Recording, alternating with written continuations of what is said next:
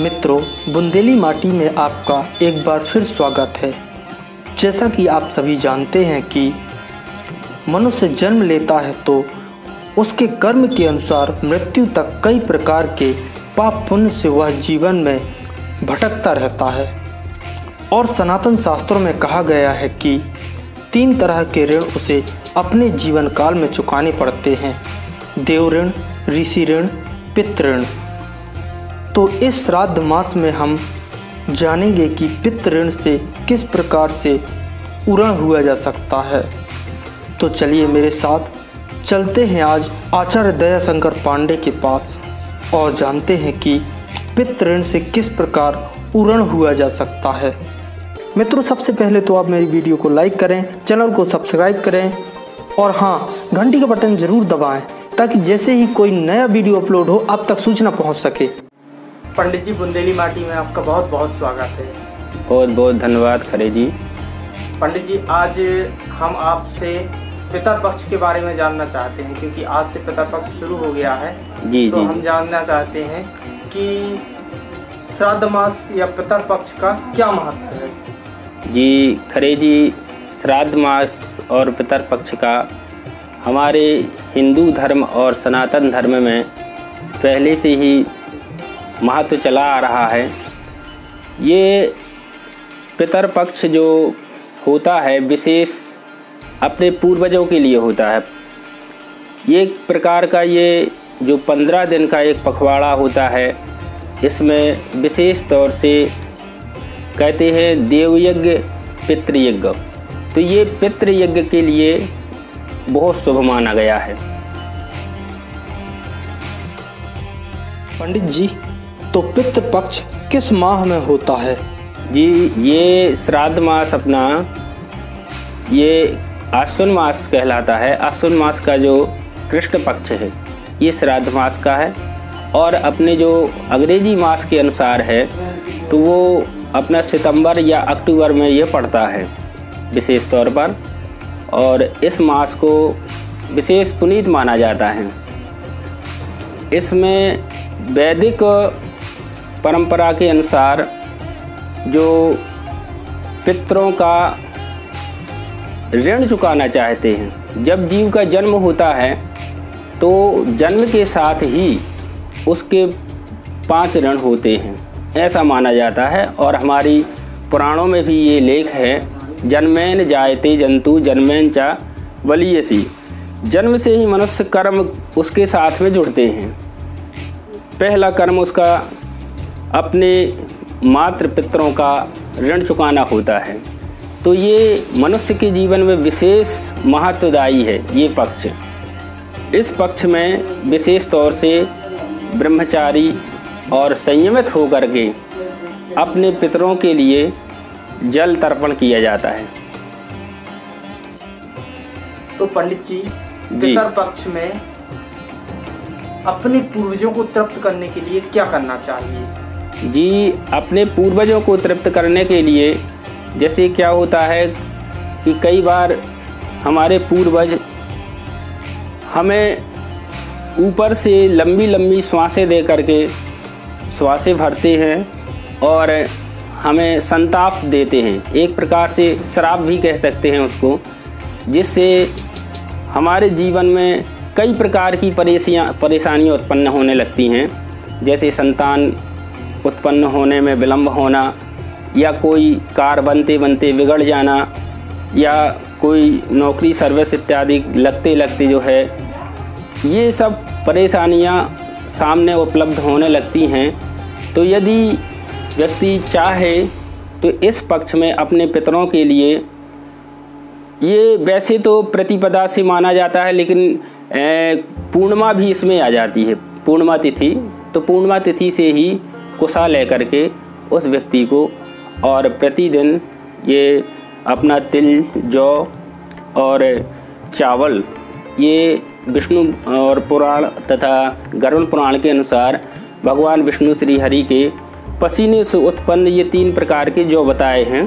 तो इनको लेकर के देवताओं को और ऋषियों को इसके बाद दक्षिण दिशा में अपने पितरों को तर्पण देना चाहिए। जी, धन्यवाद। तो पंडित जी हम अपने दर्शकों को बताना चाहेंगे जी जी। कि पितर पक्ष के पीछे क्या पौराणिक रहस्य है? जी ये पौराणिक इतिहास ये आता है कि भगवान श्री राम जी के पिता दशरथ जी जब इनकी गोधाम गोलोकवासी हो गए तो भरत जी ने इनका जो और्धदेह क्रिया थी, बहुत अच्छी तरह से, तरीके से की थी। परंतु जीव आत्मा जिसे पुत्र को अधिक प्रेम करती है, ऐसा माना जाता है, जब तक उस पुत्र के द्वारा उस जीव आत्मा को पिंडदान प्रदान नहीं किए जाते, तब तक उसको तृप्ति नहीं होती है। तो इसी उद्देश्य से भगवान श्री राम ने गया जी में जाकर के फाल्गु नदी के किनारे भगवान श्री राम ने पिंडदान करने के निमित्त से सामग्री जोड़ना प्रारंभ कर दी। उसी समय बहुत तेज वायु आती है और भगवान श्री राम अपने सामग्री में व्यस्त थे। यहाँ माता सीता फाल्गु नदी के किनारे बैठी हुई थी। उसी समय पर फाल्गु नदी से दशरथ जी ने दोनों हाथ ऊपर उठाए और उन्होंने कहा कि, हे सीता मेरा पुत्र किसी कार्य में संलग्न है और मेरे पास अधिक समय नहीं है, इसलिए बेटी, एक काम करो।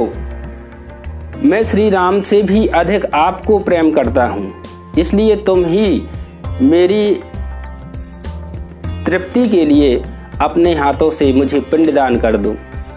उसी समय पर माता सीता ने फाल्गु नदी की जो रेत थी, मिट्टी थी, उस मिट्टी के उठा करके और दो पिंड बनाए और दोनों हाथों में राजा दशरथ के रख दिए।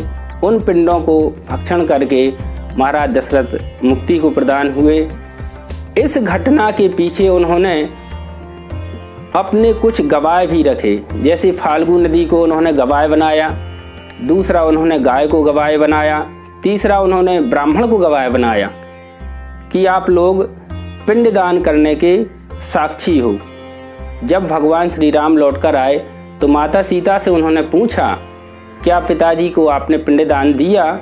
तो उन्होंने कहा हाँ मैंने आपके पिताजी को पिंडदान कर दिया है क्योंकि उनके पास समय अधिक नहीं था, इसलिए आपकी अनुपस्थिति में मुझे ही पिंडदान करना पड़ा।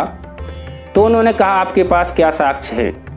तो फाल्गु नदी को साक्ष्य बता दिया, ब्राह्मण को बता दिया, और गाय को बता दिया तो इन तीनों ने गवाह देने से भगवान श्री राम के सामने मना कर दिया। बोले, महाराज, हमने नहीं देखा ऐसा कुछ भी कि कब माता सीता ने अपने जो है ससुर दशरथ को पिंडदान किए हैं। भगवान श्री राम उस समय क्रोधित हुए और उसी समय उन्होंने माता सीता से भी क्रोध किया। माता सीता को भी क्रोध आया। उन्होंने फाल्गु नदी को श्राप दे दिया कि तुम कभी भी दोनों किनारों से होकर नहीं बहोगी। तथा गाय को श्राप दे दिया कि तुम कलयुग में भ्रष्ट हो जाओगी और ब्राह्मण को भी श्राप दे दिया कि तुम भी भ्रष्ट हो जाओगे। और उसके बाद मा, माता सीता ने वहाँ पर रुदन करते हुए एक तिनका जो तिनका ने ही श्री लंका में उनका साथ दिया था उसी तिनके ने आकर के माता सीता की गवाही दी। तो माता सीता ने उस तिनके को दूरबा को आशीर्वाद दिया कि तुम नित नव बढ़ती ही रहोगी तुम्हारी वृद्धि ही होती रहेगी। ये पौराणिक इतिहास आता है करीब। और तभी से यह पिंडदान करना और तृप्तों को तृप्त करना इस पितृ पक्ष में श्राद्ध कर्म मनाया जाता है। जी धन्यवाद। तो पंडित जी हम जानना चाहेंगे कि मनुष्य के जीवन में पितरों को तृप्त करना क्यों आवश्यक है? जी बहुत सुंदर प्रश्न है आपका खरे जी। मनुष्य के जीवन में जितना उसके सुख और समृद्धि उसे चाहिए तो उतना ही अधिक पितरों को तृप्त करना उसे आवश्यक है। क्योंकि हमारे वैदिक ग्रंथ जो ज्योतिष है, ज्योतिष के अनुसार यदि प्रमाण दिया जाए तो इसमें मंगल और सूर्य दो ग्रह ऐसे हैं जो पितरों की स्थिति बताते हैं, जन्मांक में, कि आपके जन्मांक में पितृदोष उत्पन्न हो गया है।